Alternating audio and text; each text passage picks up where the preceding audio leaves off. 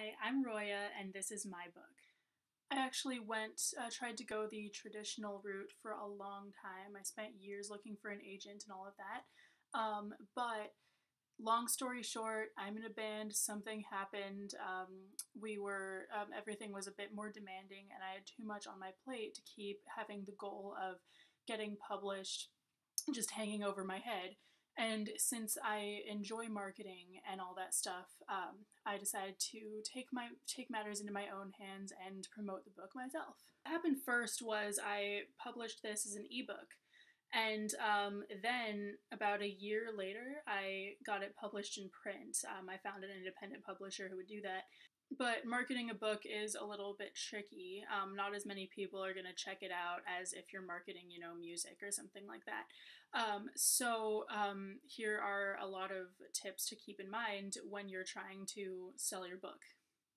If your book is available in stores, that's really awesome, but without the marketing, um, you're not going to get more than maybe the occasional person haunting the bookstore to buy it, which is great because if you can get the occasional person just browsing the bookstore to buy it, that's already wonderful. But um, most of your sales are pretty much going to be people who have heard of it already and decide to, you know, buy it when they see it at the bookstore because they've already heard about it. There are a lot of things that you really need to do to um, make your self published or independent book um, a success. So, first of all, if you haven't published it yet, um, before you publish it, make sure you have someone edit it. And I don't mean just copy editing, I mean actual editing, like someone who's gonna cross out whole paragraphs and say you don't need this and all that stuff. Because I see a lot of self published books that really do suffer in terms of um, their editing. So, yeah, that's tip number one hire an editor. Also, make sure when you are publishing it that you already have a cover and a summary of some sort ready. Um, because you don't want to, you know, be about to publish it and then suddenly go, oh, wait, I need a cover and a summary. So, also, obviously, as I mentioned, a book isn't going to promote itself, even if it is in stores. Um, so, in addition to telling everyone you've ever met that you wrote a book and everything, um, you should make a Facebook page for it, post about it on Twitter, I mean, there's a lot of free promo- promotion out there that you can take advantage of. There are some good hashtags to use on Twitter too. If you use hashtag BookBoost, there's um, an account that will um, retweet that. And then also um, hashtag BYNR stands for Book Your Next Read.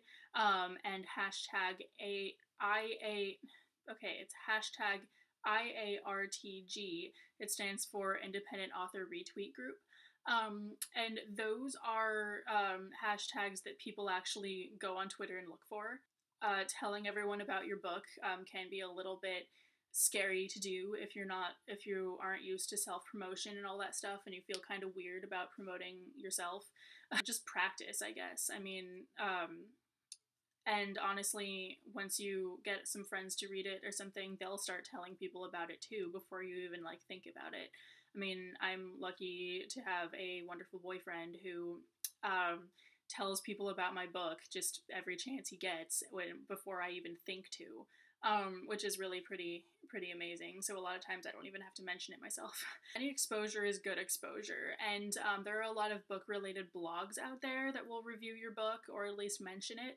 Um, and some don't um, mention self-published books and whatnot, but some do. Also, book reviewers too. There are some sites that have lists of whole of book reviewers with the genres and everything that they um, uh, that they review and don't review and all that stuff. So just check them out and see which ones review your genre and send your book to them. But don't send the whole manuscript. Just send like the first chapter or something and then just say tell them to contact you if they um, think it's interesting and want to review it and want the whole thing. Also if you don't have that many amazon reviews um, if you have like two amazon reviews and you're wondering why you don't have more um, you should be um, telling your beta readers or any friends that, who have read your book already and all that stuff to, to review it And also, some book reviewers will actually do that as well. In addition to posting it on their site, they'll post a review on the Amazon page too.